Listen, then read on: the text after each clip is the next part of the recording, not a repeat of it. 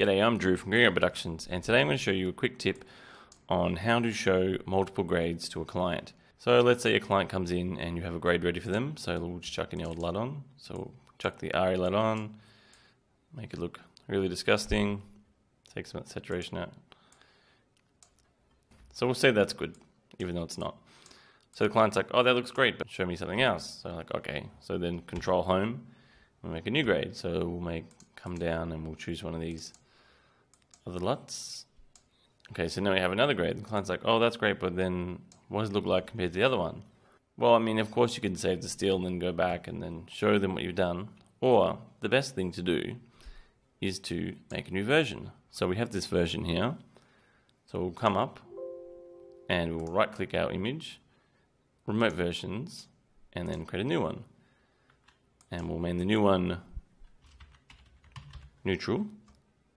And now if we would press control home and start again, and then we'll make a neutral grade. So something more like this.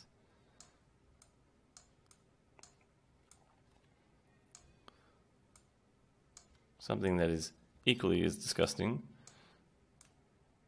Okay, so now we have this neutral kind of grade going on. So the client's like, oh, that's great. I bet a couple more. So what we're going to do is up remotes again, and we'll rename this one. We'll call it know, warm, whatever.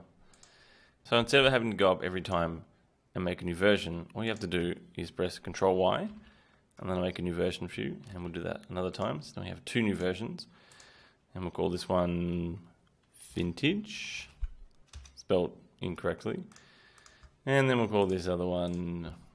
Um, doesn't matter. We'll call it whatever. Okay, so let's make a grade for this one. Let's reset the grade and then we'll come down and pick something like this. Oh, these are terrible. Something like that.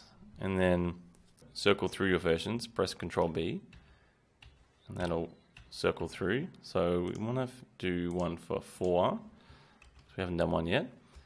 And we'll just do something that looks just... Here we go. This is a little bit different. So we have four completely different looks and we can circle through them and show the client.